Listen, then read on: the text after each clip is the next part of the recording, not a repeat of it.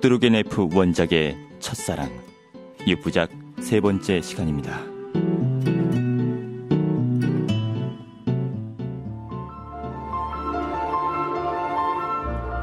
지난 이야기 지나이다에게 초대를 받은 나는 그녀의 집에서 놀라운 광경을 보게 된다.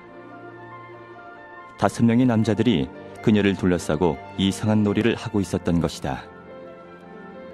엄격결에 놀이에 동참하게 된 나는 점점 더 그녀에게 빠져든다.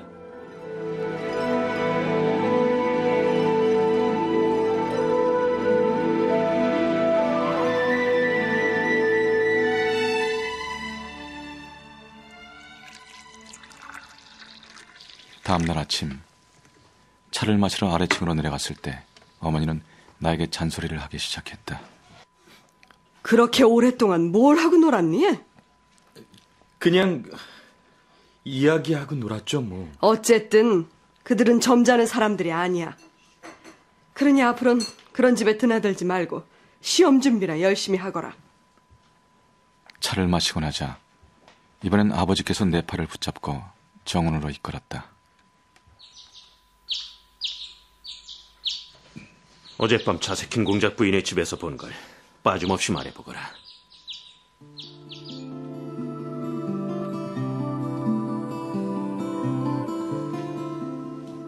아버지와 나 사이는 보통의 부자들과는 달랐다.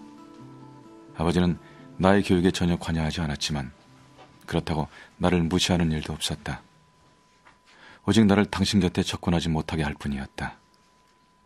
아버지는 내가 아는 남자 중 가장 멋진 남자야. 만일 아버지가 끊임없이 나를 경계하지 않았다면 나는 아마도 그를 열렬히 사랑했을 것이다. 아버지는 마음이 내킬 때면 한두 마디 말이나 손짓 하나로 순식간에 무한한 신뢰감을 불러일으키는 힘을 가지고 있었다. 아버지는 말이 통하는 진정한 친구. 그리고 너그러운 스승 같은 존재야. 나중에 아버지의 성격에 대해 여러 가지로 생각해 본 끝에 아버지는 나나 가정생활 같은데 신경 쓸 만한 정신적인 여유가 없었다는 결론에 도달했다. 아버지가 사랑한 것은 색다른 것이며 그 색다른 것을 마음껏 즐기고 있었던 것이다. 블라디미르, 될 수 있는 한 모든 걸 자기 것으로 만들어야지 남에게 넘겨줘선 안 돼. 그리고 자긴 자기 자신의 것이 돼야 해. 여기에 바로 인생의 묘미가 있는 거다. 언젠가 젊은 민주주의의 입장에서 자유에 대하여 아버지와 토론한 적이 있었다. 자유라. 근데 넌 인간에게 자유를 주는 것이 무엇이라고 생각하느냐? 무슨 말씀이세요? 그건 바로 의지다. 자기 자신의 의지란 말이야. 의지는 자유보다 귀중한 권력을 인간에게 준다. 자기가 하고 싶은 일을 마음대로 할 수 있다면 자유로운 몸이 될 수도 있을 것이고, 또한 명령을 내릴 수도 있을 것이야. 아버지는 무엇보다도 삶을 즐기려고 하였다. 그리고 실제로 삶을 즐겼다. 어쩌면 아버지는 자신이 인생의 묘미를 오랫동안 맛볼 수 없다는 것을 그때 이미 알고 있었는지도 모른다. 아버지는 불과 마흔 둘이라는 나이에 세상을 떠났던 것이다.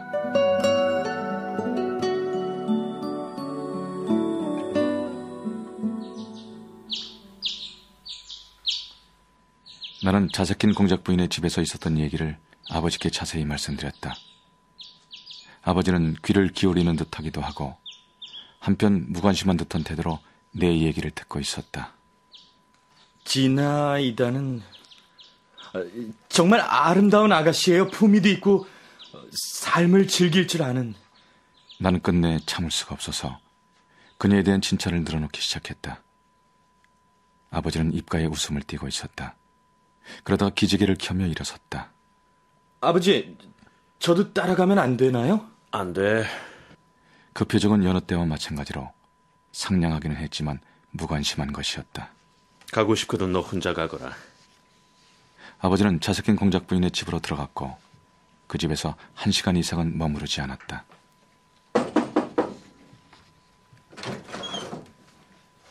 안녕하십니까? 나도 점심을 먹고 자새낀 공작 부인의 집으로 갔다. 응접실에는 늙은 공작 부인 혼자 앉아 있었다. 내가 들어서자 부인은 종이를 내밀었다.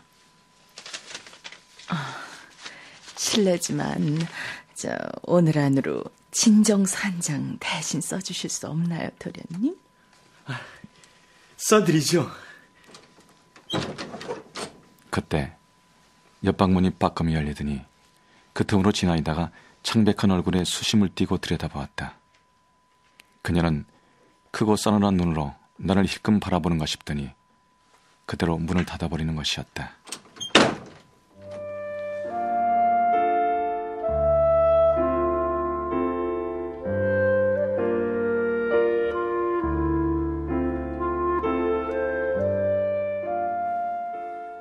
사실 나의 열정은 그때부터 시작되었다고 할 수 있다.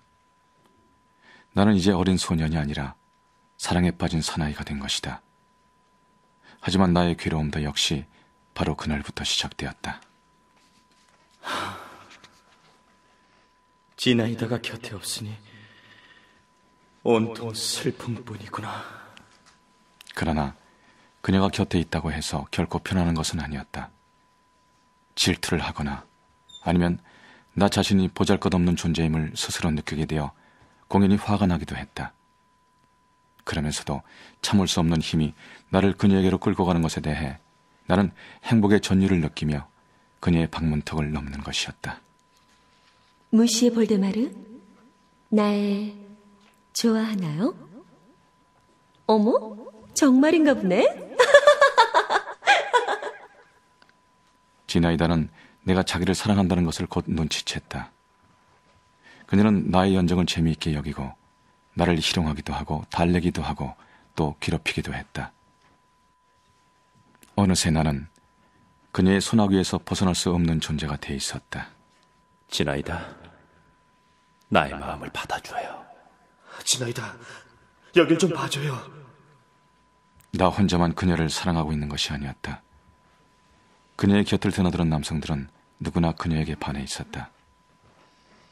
그녀는 그들을 자기 마음대로 조롱하는 것을 즐거움으로 삼고 있었다. 그러나 그들은 이러한 상황을 조금 더 싫어하지 않았고 오히려 그녀에 대한 복종심만 더해졌다.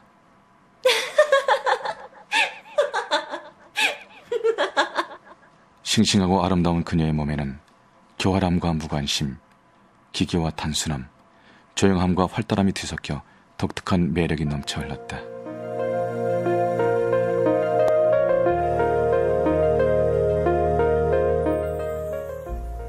지나이다를 숭배하는 사람들은 모두가 그녀에게 필요한 존재였다. 오, 나의 맹수. 나의 사람.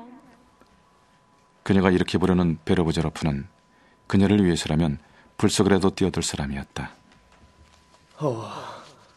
아름다운 여신이시여. 그대의 이름은 지나이다. 시인 마이다노프는 그녀의 영혼을 시적 감성으로 올렸다. 정말 꼴불견들이군. 루시는 빈정거리기도 잘하고 노골적인 말을 예사로 짓거리는 의사였지만 어느 누구보다도 그녀를 사랑하고 있었다. 그녀는 그를 존경하였지만 그렇다고 그에게 특별히 관심을 보이지는 않았다. 지나이다는 왜 마레프스키 백작을 곁에 두는 걸까? 마레프스키 백작은 잘생기고 영리한 사람이었지만 어딘가 사기꾼 같은 데가 엿보였다. 마레프스키가 마치 여우처럼 기활하게 몸을 건들거리고 그녀에게로 다가가서 그녀의 귀에 무슨 말인가를 소곤거리고 미소를 짓거나 할 때면 정말 견딜 수가 없었다. 마레프스키 같은 사람을 집에 들이다니 당신도 이상하군요.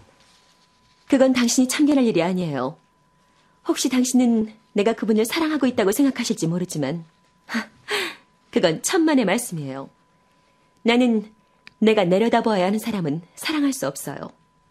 나에게는 나를 꼼짝 못하게 하는 사람이어야 해요. 하, 그렇지만 그런 사람은 아무래도 만날 수 없을 것 같아요.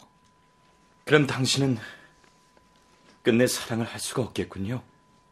그렇다고 당신까지도? 내가 당신마저도 사랑하지 않는다고요? 지나이다는 나를 마음대로 가지고 놀았다. 공부도, 독서도, 그 어떤 것도 눈에 들어오질 않아. 나는 모든 것을 중단해버렸다. 그리고 마치 발에 묶인 딱정벌레처럼 그녀의 집 주위를 끊임없이 맴돌았다. 그녀가 나에게 아영을 떨면 나는 곧 흥분하여 녹아나는 듯한 기분이 되고 그러다 갑자기 나를 밀쳐버리면 나는 그녀의 곁에 다가가지도 못하고 감히 그녀의 얼굴을 쳐다볼 수도 없었다.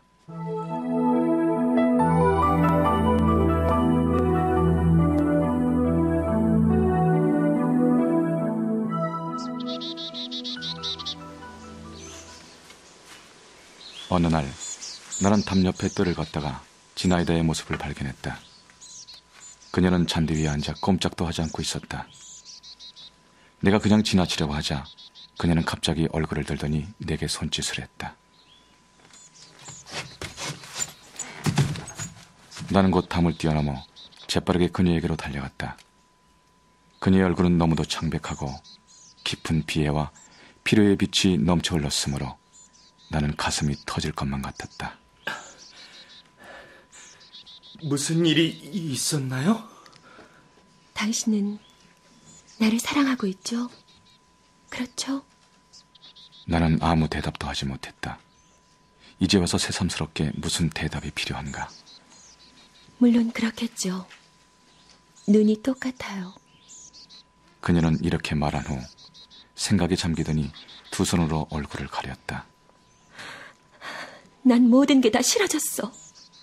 이 세상 끝까지라도 가버렸으면 좋으련만 난 정말 견딜 수 없어. 그런데 내 앞날은 어떻게 될 것인지. 아, 괴로워. 정말 괴로워 죽겠어. 왜 그러시죠? 지나이다는 아무 대답도 없었다.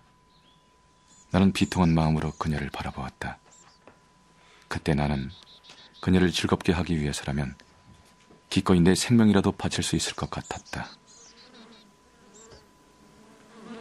주인은 온통 햇빛을 받아 밝고 푸르렀다. 바람은 산들산들 나뭇잎을 스치고 꿀벌은 부리를 가볍게 날아다니며 붕붕거렸다. 눈을 들면 푸른 하늘이 부드럽게 펼쳐져 있었다. 나에게 어떤 시든지 한 편 들려주세요. 나는 당신이 시를 낭독하는 게 무척 좋아요. 아, 푸시킨의 그루지아의 언덕에서를 들려주세요. 나는 지나이드의 명령대로 그루지아의 언덕에서를 낭송했다. 사랑하지 않을 수 없기 때문에. 그래서 이 시가 좋다는 거죠. 이 세상에 없는 것을 들려주니까. 그리고 진실에 훨씬 더 가까우니까요. 사랑하지 않을 수 없기 때문에. 사랑하지 않으려 해도 그렇게 되지가 않는군요. 그녀는 갑자기 벌떡 일어섰다. 자, 그만 가요. 집에 마이다노프가 와 있어요. 그는 자기가 지은 장편시를 갖고 왔는데 그대로 두고 나왔어요. 그이도 역시 괴로워할 거예요. 그렇지만 어쩔 수 없죠. 당신도 언젠가는 알게 되겠지만 제발 나에게 화는 내지 말아요. 지나이다는 재빨리 나의 손을 잡고 별채로 뛰어갔다. 아, 지나이다. 이제 왔군요. 자, 그럼 나의 작품, 당신에게 바치는 아름다운 시를 낭독하겠소. 그는 목청을 높여 노래하듯이 시를 낭송했지만 나는 귀담아 듣지 않았다. 나는 여전히 지나이다의 얼굴만 쳐다보면서 그녀가 마지막으로 나에게 한 말뜻을 풀어보려고 했었다. 혹시 남 모르는 연적이 선수를 쳐서 당신의 마음을 사로잡은 것이 아닐까? 그때 갑자기 마이다노프가 이렇게 외쳤다. 순간 나의 눈이 지나이다의 눈과 부딪혔다. 그녀는 시선을 떨구고 얼굴을 붉혔다. 나는 등골이 싸늘해졌다.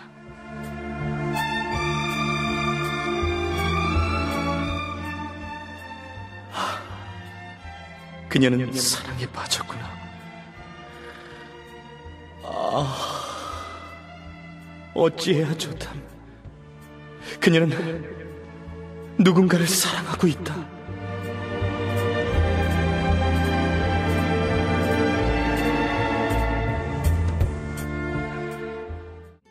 뚜르겐F 원작의 첫사랑 3부를 마칩니다.